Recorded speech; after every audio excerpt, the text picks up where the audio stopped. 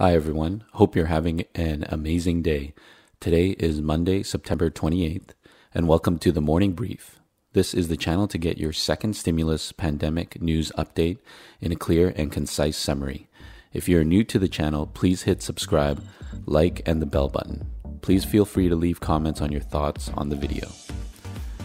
In this video, I will be going over first the stimulus news, second, the Supreme Court Justice nomination, third, COVID 19 news and infection rates. In stimulus news, there's good news here. There is still hope for a second check stimulus that could be authorized by Congress. Both sides, the Democrats and the Republicans, support another direct payment to people who qualify. It seems there has just been too much politics around getting the second stimulus done. This is pretty sad for the American people who are suffering. The stock market, meanwhile, rallied on Friday and Thursday following news on renewed stimulus talks between the Treasury Secretary Mnuchin and House Secretary House Speaker Nancy Pelosi that the talk and stimulus may still be on. Mnuchin said and Pelosi agreed to continue to have discussions regarding a future stimulus bill. This is great news on the stimulus check side. Let's hope a new bill can be passed soon. A new relief bill could include the second stimulus payment that we are all in need of before the lawmakers head home for October recess. On Sunday, Nancy Pelosi said on the TV show CNN State of the Union, "We are having our conversations with our administration and it so far it is in good faith. I think we have a good chance to get something done." I trust Secretary Mnuchin to represent something that can reach a solution, and we believe we can come to an ultimate agreement. I'm hoping for a deal. I'd rather have a deal which puts money into the people's pockets, she said, adding, without funding for state and local governments, first responders will start losing jobs and go into unemployment. I don't think that's smart. So I agree with Pelosi 100%. I hope that we can get a check to the American people who need it. And some Democrats have stated they would be willing to cut 1 trillion from the previous Heroes Act and the relief the the Heroes Act that was passed in May. The House Democrats are currently drafting a more focused bill reportedly in the 2 trillion to 2.5 trillion range for a potential vote on Friday, October 2nd. So please stay tuned to the channel. I'll keep updating um, the the news for this week, and we'll pay attention to that October 2nd potential date.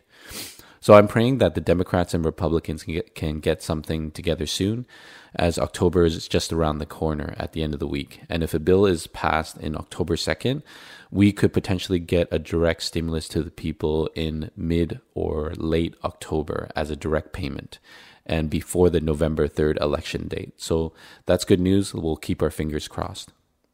On to news regarding the Supreme Court Justice nomination. On Saturday at 5 p.m., President Trump announced his pick for the Supreme Court Justice nomination, and it was Amy Coney, Coney Barrett, as anticipated by many. Personally, I was wrong. I thought that that pick might have been Barbara Lagoa. I was going for a counter pick from the media. Um, Lagoa is the Hispanic judge out of Florida, which Trump had wanted to nominate to secure the state of Florida in the upcoming November election and potentially win more minority votes.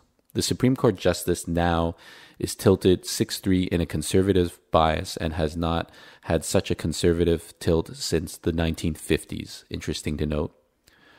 So, Barrett is a mother of seven, a former Notre Dame law professor, and a devout and outspoken Catholic. She was actually the finalist to Brett Kavanaugh in the 2018 justice nomination by Trump. Advocates of the far right have backed her nomination because of her writings of on faith and the law. Democrats, Democrat senators, and liberal advocates have opposed her warnings. She uh, she could roll back abortion rights and change possibly the Affordable Cares Act. Many have suggested her religious views could influence future rulings.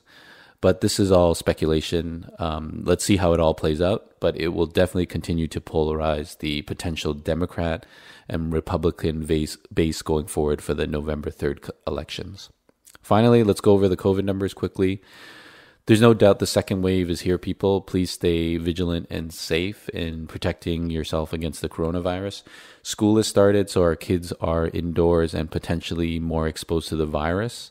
And the colder weather, we could feel it now. It's fall. Uh, people will be indoors more and could potentially be spreading the virus more easily. Thanksgiving is coming up in two weeks, three weeks, so people will be traveling potentially to see friends and family over the holidays in larger groups. So, uh, another thing to potentially watch out for. For in the exact numbers, COVID 19 testing was up in the US. You know, we have over, you know, 800,000 to 900,000 tests per day. Uh, the death toll is over 200,000 in America, more than 7 million cases. We had 38,000 infections yesterday in the United States as of September 27th. Seven states Arizona, Colorado, Minnesota, Montana, Texas, Utah, and Wyoming saw their daily infections rise at least six, over 60% in the past two weeks. The biggest increases were concentrated in the West and Midwest. So the, there were large outbreaks and increases in daily infection rates. Um, the big three states, California, Texas, uh, and Florida, are still rising, and all, all states have active cases over 700,000. Texas has been increasing really fast with almost 6,000 infections yesterday. And in vaccine news, the U.S. is racing towards a vaccine. There are now four companies in stage three for vaccines uh, research, with J and J and J being announced at the beginning of last week. So you're caught up for today. Please enjoy your Monday. Stay safe. I'll see you tomorrow.